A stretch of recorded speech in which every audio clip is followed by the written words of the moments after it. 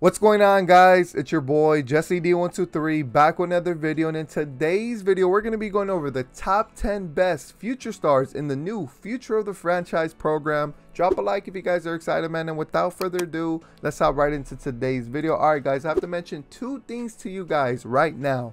One we don't have any of these cards yet. You guys see the XP we're at. We don't have any of these cards yet. I'm basing my top 10 list strictly on the stats, the fielding, and the hitting. That's how we're making our list.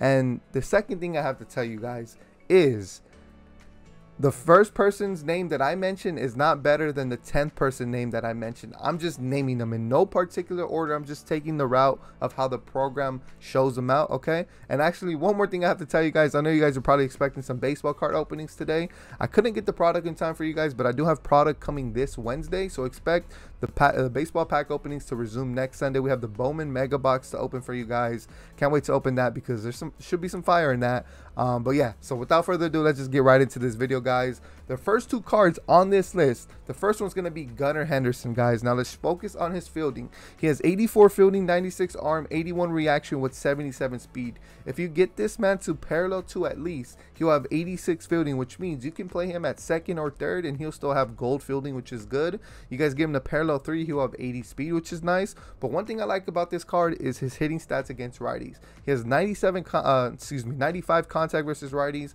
and 104 power versus righties. Me, in my opinion, eight times out of 10, you guys are going to be facing a right-handed pitcher. So he should be doing really, really good against that. His hitting stats against lefties aren't the best, but they'll they'll do I think in my opinion. Um, but Gunnar Henderson is the first person on this list. Moving on to the next, there's a lot of players that have similar positions. So my boy Gunnar Henderson played shortstop, and the second guy on this list is going to be Oswald Peraza, and he also plays shortstop. So let's go over his stats. I really love his fielding with the speed combination. He has 93 speed, 88 arm, 89 reaction with 87 speed. So you guys see he is nasty, guys. He also can play second or third. So as long as you guys get this guy to parallel two, he can uh, still have diamond fielding at second or third, and the reaction is going to be there as well with the speed as well. Um, his hitting stats are nice. Um, he does have a lot of contact. He doesn't have a lot of power though, so don't expect this man to hit too many bombs. But he can make a lot of contact because once you guys get him to at least parallel three, he'll have a hundred contact against both sides, which is really really good.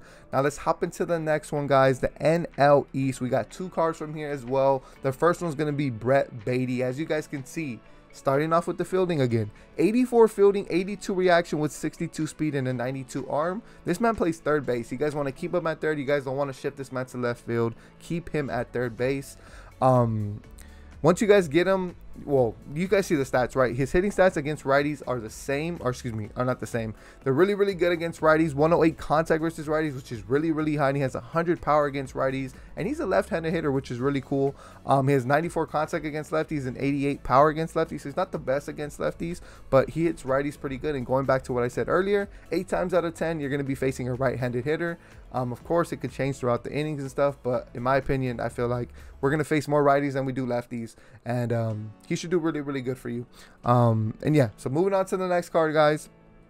The AL Central pack. We have one card from this pack. It's going to be Nick Pratto. Nick Pratto, he's a first baseman. I want to say he's one of the two first basemen in the future star list. Maybe, maybe there's more. I could be tripping. But look at his fielding, guys. 92 fielding, 88 arm, 94 reaction, 52 speed. He's a first baseman. He can play left or right as well. If you guys really want to throw him in the outfield, which I suggest just keep this man at first because he's going to be locking it down with that diamond fielding. Look at his stats, uh, hitting stats though. He has 92 contact against righties, 108 power against righties, which is really, really good. Going back to what I said, eight times out of 10, you're going to be facing a right-handed hitter. That's just my opinion. Um, 84 contact versus lefties and 100 power against lefties. Not the best. He has a lot of power against lefties though, which is really really good. He also bats lefty as well.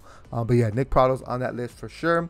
Moving on to the next pack, we have my boy Austin Hendrick. Austin Hendrick, he kind of surprised me, bro. Especially if you guys can get this guy to parallel five. Here, here's why.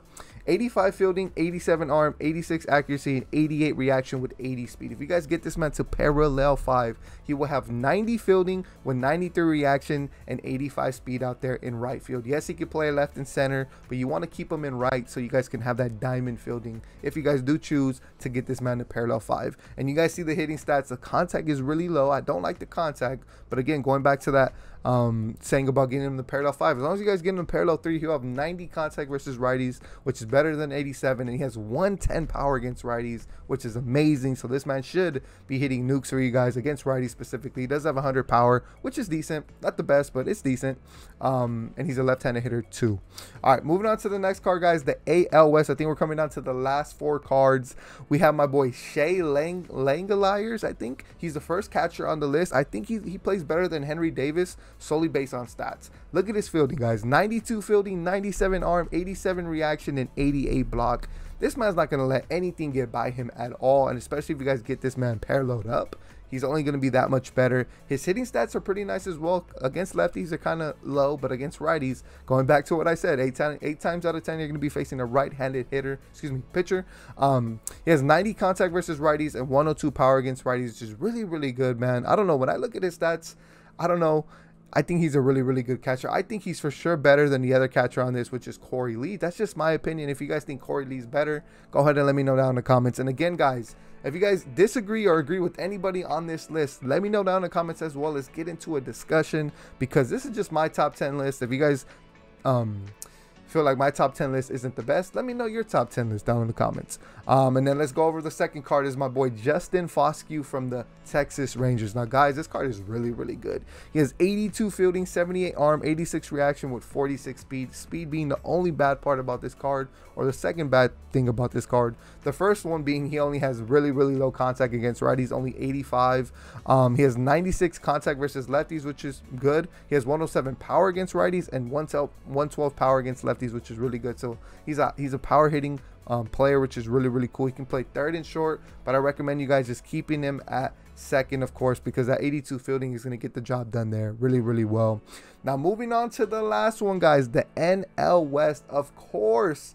Of course, Bobby Miller is the best catcher. Excuse me, the best catcher. Whoa, the best pitcher in this whole Future Stars program. 102 hits per nine. He has a five pitch repertoire, four seam slider, splitter, sinker, and a curveball. And this man has outlier on that fastball, guys. He is really, really good. I cannot wait to get him and parallel him up. And he has really, really good control on the pitches as well. High 80s um, for the four seam and the split, uh, the slider. The sinker can get a little bit better, but I think this card is really, really good. If you guys have this card and if you guys use them, let me know down in the comments how good is he because statistically he looks amazing. He has 81 control, not the best, but that 99 velo with the 97 break is really, really nice.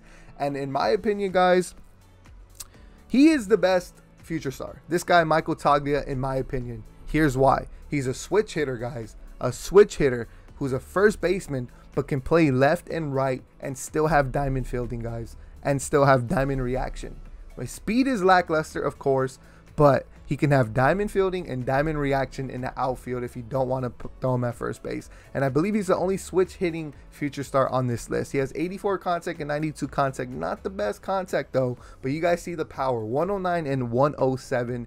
In my opinion, guys, he is the best future stars on this list. Let me know who is who do you think is the best future stars on your list? Let me know down in the comments because I think this man is the best one because his stats are disgusting, man. He's a switch hitter, of course. Left, he can play left and right. Like I said, he can have diamond fielding, which is really, really good. In his arm, guys, if you guys get him to parallel five, you have 91 arm, which is really, really good. The only bad thing you can say about this card is his contact and the and the and the speed. Those are the only two bad things about this card. But I think, in my humble opinion, he is the best future stars card on this list. And yeah, guys, so those are my top 10 future stars that are in the new Future of the Franchise program. Again, please let me know down in the comments what is your top 10 list. Do you guys agree who um, that Michael Toglia is the best future star card in this list? If not, let me know down in the comments who's your number one future star in this whole total program. Appreciate you guys for watching today's video, man. Drop a like if you guys enjoyed.